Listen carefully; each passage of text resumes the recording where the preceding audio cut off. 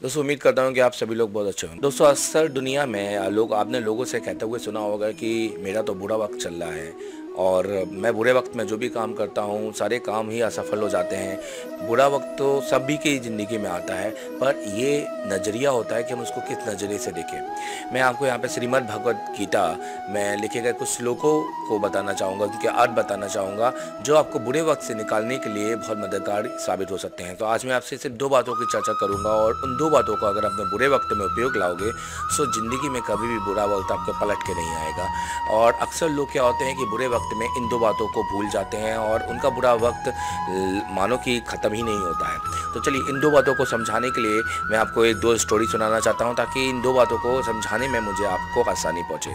तो दोस्तों पहली स्टोरी है किसान की, जो छोटे मोटे खेत में काम करके अपने घर का पालन पोषण तो कर ही लेता है, पर बहुत ज़्यादा पैसा नहीं कमा पाता है। उसके घर में वो अपने बीबी और बच्चे का पेट तो भर ही लेता है, पर उसके तो एक दिन क्या होता है कि उनके गाँव में एक बीमारी आ जाती है, जिसकी वजह से उसका बच्चा काफ़ी बीमार हो जाता है और उसे शहर के अस्पताल में भर्ती कराना होता है और शहर के अस्पताल में उसको बहुत ज़्यादा पैसे की ज़रूरत पड़ती है।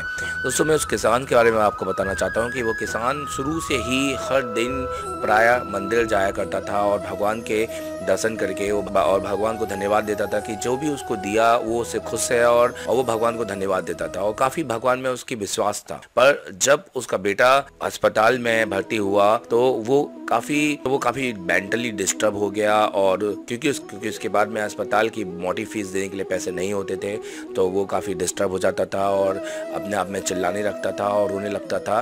और जो उसका विश्वास था भगवान पर और वो भगवान वो एकदम से टूट गया। और जो वो हर सा, हर दिन मंदिर जाता था, उसका मंदिर जाना भी छूट गया। वहीं वो यही सोचता था कि मैं अपने बेटे के इलाज के लिए पैसा कहाँ से लाऊँगा। और वहीं उसकी वाइफ वो भी हर दिन उसी की तरह अटूट विश्वास में मंदिर जाती थी, जो उसके बच्चे के बीमार होने के बाद भी अस्पताल के मंदिर में हर दिन वो जाती थी। तो दोस्तों, वैसे ही वो औरत मंदिर में जाकर अपने बच्चे की सलामत के लिए दुआ मांगती है अपने भगवान से, क्योंकि वो मंदिर हॉस्पिटल में था और वहाँ पे खड़े हुए एक आदमी ने उसकी बात सुनी है और उसके बात सुनकर उस औरत के पास गया, कहा कि आज ही मेरी बीवी डिस्चार्ज हुई है, वो भी इसी बीमारी से निकली और आज मैं काफ़ी खुश हूँ कि वो ठीक हो गई है। तो उसने अपनी जेब से पैसे निकाले और उसको दे दिए। और एक कागज़ दिया जिसमें अपना नाम पता लिख के दिया और कहा कि अगर तुम्हें और भी पैसे की ज़रूरत है, क्योंकि उस औरत को शुरू से ही भगवान पे अटूट विश्वास था, जो उसके उसके पति को बिल्कुल भी नहीं था। इस कहानी के माध्यम से मैं आपको बताना चाहता हूँ कि हमें अपने ऊपर वाले पर, हमें अपने ईश्वर, हमें अपने अल्लाह या अपने जीजस पे हमें भरोसा तो रहता है और हम उनकी काफ़ी पूजा पाठ भी करते हैं। पर जब बुरा वक्त आ जाता है तो बुरे वक्त पे हम उनकी पूजा पाठ करना छोड़ देते हैं। जब अपने अंदर का विश्वास होता है वो हम खो देते हैं। अक्सर लोगों का बुरे वक्त में विश्वास टूट जाता है और यही एक बड़ा रीजन होता है कि अपने बुरे वक्त से नहीं निकल पाते। दोस्तों, यहाँ पे श्रीमद भगवत गीता के नौवे अध्याय के बाईसवें श्लोक में श्री कृष्ण ने यही बात कही कि अगर कोई मेरा सच्चे मन से मेरी प्रार्थना करेगा तो मैं उसको वो चीज़ दूँगा जो उसके पास नहीं है। और मैं उसकी वो चीज़ की भी रक्षा करूँगा जो उसके पास है। हमेशा याद रखिए, अगर आपका कभी बुरा वक्त आता है तो ऊपर ऊपर वाले का साथ कभी मत छोड़िए। जो आप अपने अच्छे समय पे उसको याद करते थे या अच्छे समय पर मंदिर जाके उसकी प्रार्थना हुआ करते थे, बुरे वक्त में अगर आपका काम नहीं बन रहा है तो इसका ये मतलब नहीं है कि भगवान आपका काम नहीं बना रहा है। इसका ये मतलब है कि आपको बस उस पर विश्वास रखते हुए चलना है। एक ना एक दिन आपका बुरा वक्त ज़रूर निकल जाएगा। तो दोस्तों, यहाँ पर हम आ जाते हैं दूसरी कहानी पर। दूसरी कहानी है एक राजा के दो बेटों की, जो आपस में बचपन से ही अलगाव जैसे थे। राजा के जाने के बाद दोनों बेटों में राज्य का बंटवारा हो जाता है आधा आधा पर राज्य की जो एक नदी होती है, जो पूरे राज्य को खान पान देती है तो वो एक बेटे के पास आ जाती है।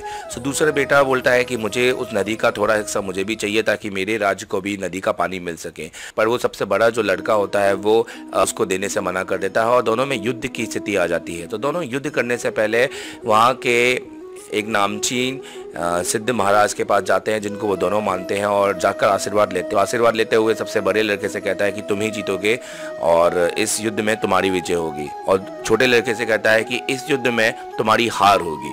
क्योंकि उनकी बात पूरा राज्य मानता था तो उनको भी माननी पड़ी और उनके दिमाग में ये बात बैठ गई।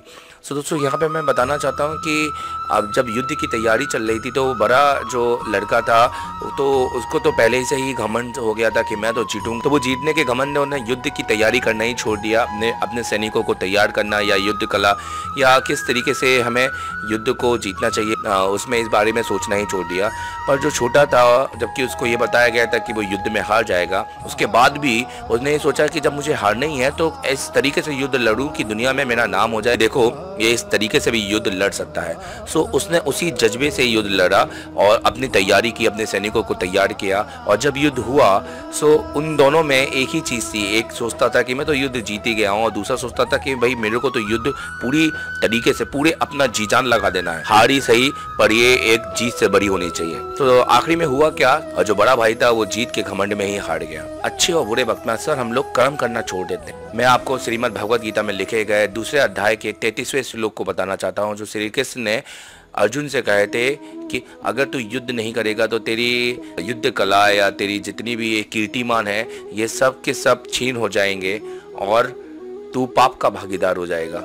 जब भी बुरे वक्त में आते हैं तो दो कामों को आपको हमेशा याद रखना है। पहला काम तो अटूट विश्वास, जो कि उस किसान की बीवी ने अपने ईश्वर पे किया था, जिसकी वजह से उसके बच्चे का इलाज हो सका। और दूसरा आपको कर्म करते हुए चलना है, जैसे कि वो राजा के छोटे बेटे ने किया था, जबकि उसको बता गया कि वो हार गया है। मतलब बुरे वक्त में हमें हमेशा यही यकीन होता है कि हमारा बुरा वक्त जाएगा ही नहीं। और पर अगर हम कर्म करना छोड़ देंगे तो दोस्तों, इससे बुरा वक्त कभी नहीं जाएगा, उल्टा और बढ़ सकता है। आशा करता हूँ कि वीडियो आपको समझ में आया हो, और इस वीडियो को पूरा देखने के लिए धन्यवाद। अगर आप वीडियो मेरे यूट्यूब चैनल में देख रहे हैं तो आप इस चैनल को सब्सक्राइब कर सकते हैं। आपको वीडियो अच्छा लगे तो लाइक कर सकते हैं तो अपने बुरे वक्त में मेरी बताई गई दो बातों का ज़रूर ध्यान रखिएगा। Thank you very much.